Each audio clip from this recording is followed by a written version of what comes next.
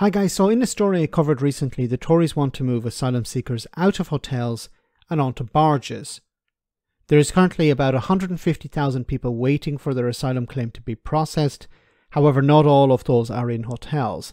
Of the thousands that currently are in that type of accommodation, 500 of them are to be relocated to a floating ex prison. Nick Ferrari, the right wing radio host, was pretty content with that and even managed to get a caller who allegedly spent time on the exact barge in question. Allegedly. Yes, I did. What's your gut feel towards it? Morning. I'm going to be honest with you. I was on that uh, ship about 20 years ago and I had no problems being on it. What were you work? Were you a worker who was housed on it? Where where were you? It was originally. I was told that it was used in the oil industry as a living accommodation, and then they converted it into a prison ship. Ah, so and you I were on it. Sentenced on there. Oh, right, And okay. I tell you what, it's it is like a floating hotel. You had fully footed carpet, ensuite bathroom and toilet. In my case, a shower. Right. You had TV, radio, gymnasium, medical care. Had a swimming pool that was out of action when I was out down there for about six to eight months. Right. And I don't, know what- I don't know what the problem is.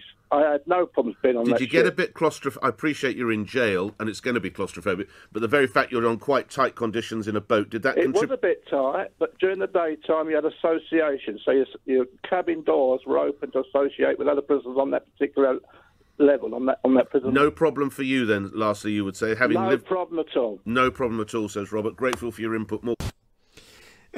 Okay, we can. I don't know. Should we mark this down as probably didn't happen? Um. Anyway, even if it did happen, there's a bit of a problem with this because the conservatives are saying that we need to put people on this ship because hotels are attract. It's not true, but it, it's attracting people. We need to create a disincentive for people to come to Britain. So they're saying that, well, you know, hotels, five star hotels, they're not five star, but five star hotels are attracting people because, you know, people who are fleeing war and persecution are saying, well, let's go to Britain because they'll put us up in a hotel. Which is not true, obviously, but for the narrative, it, sounds really good. Uh, but so if this floating ex prison is you know, wonderful. You have fully fitted carpet, ensuite bathroom, uh, shower of your own, a swimming pool. Um, well, how is that a disincentive? But also the fact that, you know, this guy presented as, well, you know, I was in prison and it was wonderful. These people are not supposed to be in prison. They're asylum seekers. They have not committed any crime. So why would you put them in something that's like a prison?